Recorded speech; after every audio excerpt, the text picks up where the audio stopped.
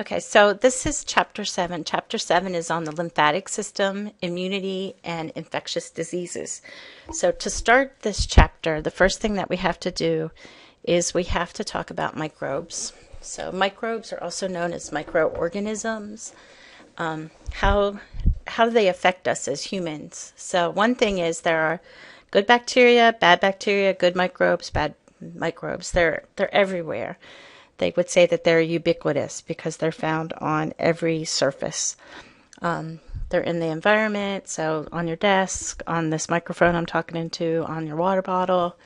Um, they're all over our body and they're in our body. We can't get rid of them all, and we don't need to get rid of them all. A lot of them don't cause any problems.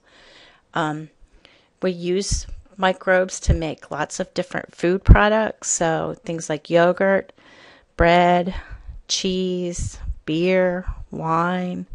Okay, so yeast is a microbe. Um, if you look at a yogurt container, you'll see that um, there's all sorts of bacteria listed. And what that bacteria does is that's going to change the the milk into yogurt. So it's it's a good thing. Um, we use bacteria or we use microbes to make drugs. So many drugs, some antibiotics are made from products from fungi. So things like penicillin, penicillin, amoxicillin, those originated from a fungus called penicillium. So microbes are really important in the environment because they decompose dead and dying material. So without them, we wouldn't be able to break down leaves and dead animals and things like that. So they're decomposers. Okay, now that brings us to the point where we're going to start talking about how they can affect humans and cause disease in humans. So if they cause disease in humans, we cause them we call them pathogens. Okay, so microbes are just microscopic organisms, and they include bacteria, viruses, prions, um, fungi. So um, things like athlete's feet, um, multicellular parasites. So if you had like intestinal worms or something like that, um, there's some single celled animals like Giardia. So, all those things cause problems. Okay, now, size wise, what do these guys look like? So, um, viruses are itsy bitsy, teeny tiny. So, if this is a normal animal cell, okay, you can see how much smaller this is a prokaryotic. So, this is supposed to be a bacterial cell. Here's a eukaryotic cell, which is way more sophisticated, and then here's a virus particle. So, just to give you some idea of the size difference. Okay, so first thing we'll start with is what are bacteria?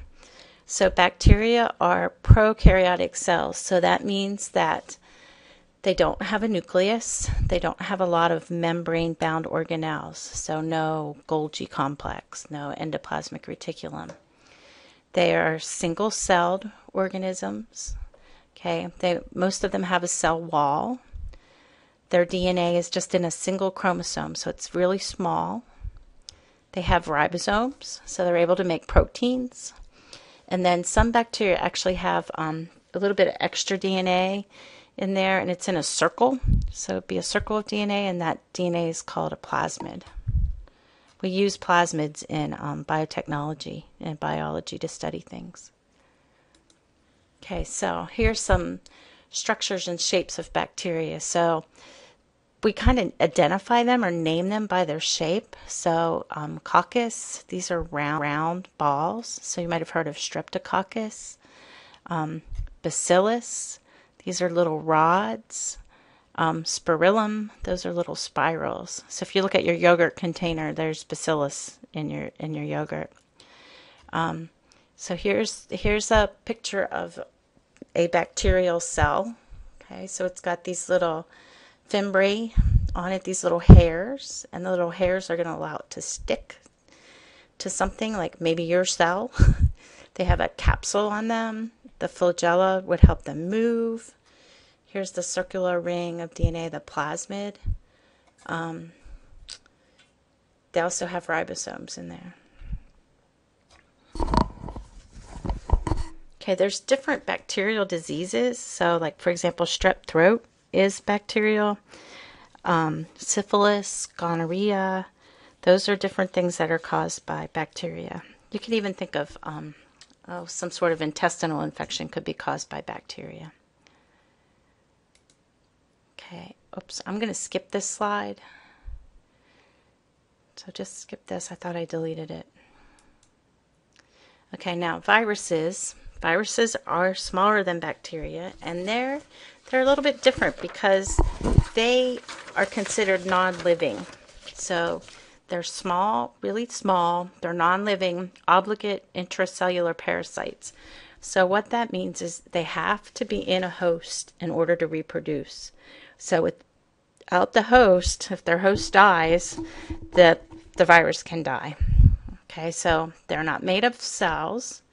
They have this is a scanning electron micrograph, so you can see a picture picture of it. Um, this is more of a, a drawing. So they have an outer protein coat, and that's called the capsid. And then they have some nucleic acid in the middle. The nucleic acid could be DNA or it could be RNA. Okay, some viruses have an envelope around them. So here's their RNA and here's the capsid, and they have this envelope that has them stick. Um, viruses are really, really specific to which cell they can enter. So not only are they host specific, like if you think about swine flu comes from pigs, okay, they're also specific as to what cell within pig or the swine that they would attach to. Okay, so they're very, very, very specific.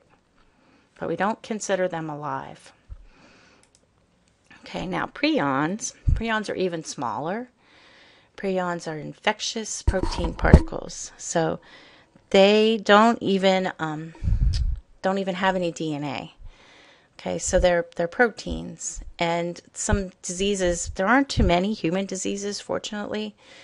Um, just a couple. They cause um, the nervous system to break down. So one example is mad cow. Um, so what happens is the normal proteins change their shape, and when they change their shape, they cause the neurons to break down. Okay, normally these prions are found if you have in order to get a prion disease you have to eat or ingest something that contains the prion. So like if a cow eats a part of another cow that like if they put the grind up the cow and put it into their feed then that's how they get a prion. So there are some human diseases but not not too many. Okay i'm going to stop this now and start another another section